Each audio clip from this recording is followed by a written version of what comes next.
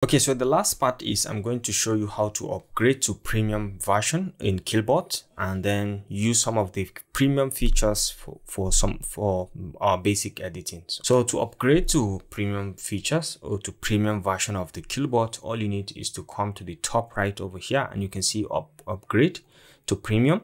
You can just click on upgrade to premium and once you upgrade to premium, these are some of the features that you will have access to increase your productivity, paraphrase more text at once to finish writing faster. So you can put in more text when you upgrade to premium and then you can have access to all of the modes. For example, in the paraphrasing, you don't have access to the formal, the simple, the creative, the expand and the shorten.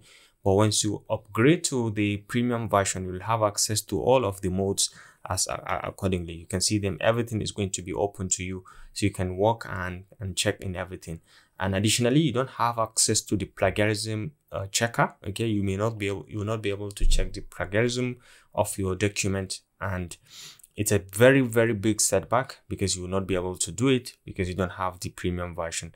So if you upgrade you'll have access to the plagiarism checker and you can compare all mode outputs at once. So these are the benefits uh, usually at the free plan, you will not be able to have access to the faster processing speed, which at least the average speed is okay. But then you can have much faster processing speed, speed and you can compare modes. You can do plagiarism checker. You can do tone detection. You can do paraphraser history. You can do all that. Okay. So you can just go ahead to upgrade. You can just come to upgrade to Quillbot Premium by just clicking on this and you can have the plans also based on it. You can have um, the annual subscription. If you want to go for the annual subscription is 4.17 dollars per month. If you want to go for the monthly one uh, you can you'll be charged this. And if you want to go for semi-annual maybe six months you can be charged this per month. And if you want to go for one time monthly subscription it's got it goes for this. So let's say we are going for this and we just do a one time monthly subscription and you have the access to either use your credit or debit card, or you can pay with PayPal. For example, in my own case, I'm going to use PayPal to make the payment. I'm going to have to log into my PayPal account and just go ahead quickly and make the payment.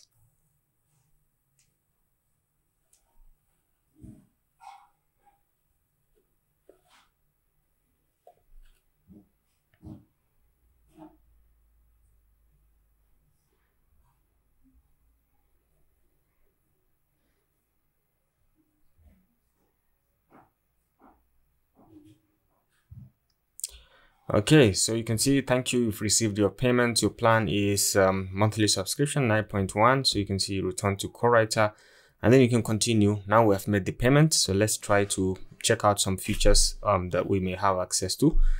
For example, you can start with the um, paraphraser. Okay, so right now you can see that at the paraphraser, we have all the other features enabled like the fluency, the formal, the simple. So all you need to test this is you can come back to your text. You can copy any of your text. For example, you can copy this text and then we can come back to the Quillbot.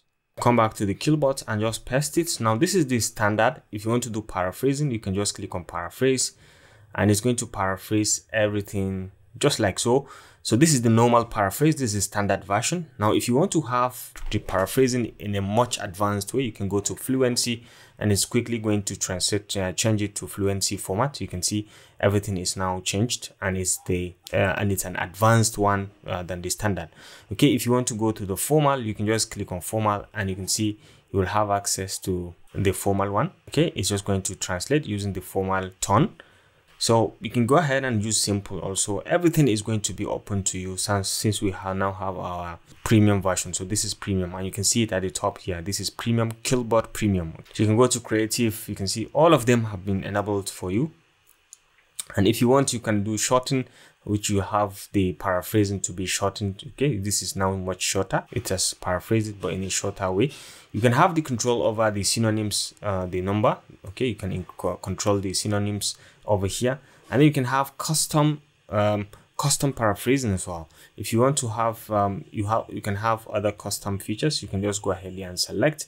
Make my text sound like um, like a CEO or like a student or like a researcher you can check the customized feature over here. So this is very, very interesting, especially when you have the premium version, you'll be able to navigate around and do all this. Now, the next thing I want to show you is how to use the Quillbot to do plagiarism check. You can have this much um, text. You can just copy your text and paste it here, and it's going to help you to check the plagiarism of your text. So for example, I have this, my paper that I have just written, this one, and I think it's about 20 pages yeah 20 pages and we equally have 20 pages of plagiarism check.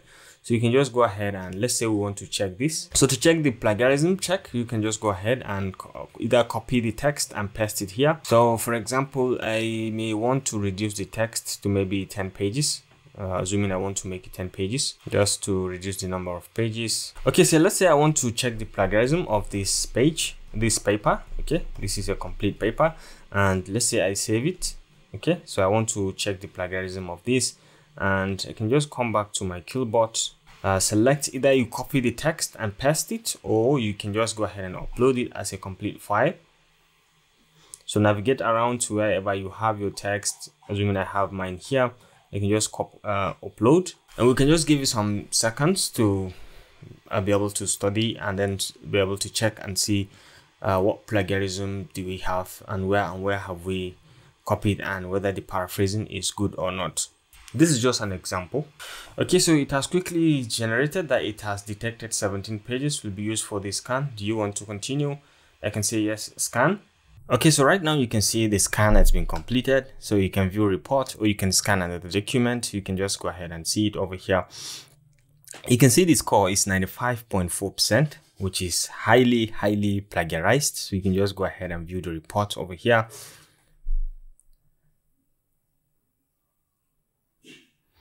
So you can see this is the report. Results found 12 uh, scanned. Similarity is 3.9 thousand words. Okay, so you can just go ahead and check. You can see this is highly, highly plagiarized. So the only thing is you need to notice that over here, you can see the sources, the results, okay, where all those things have been found. The similarity is on this paper because actually the paper has been published.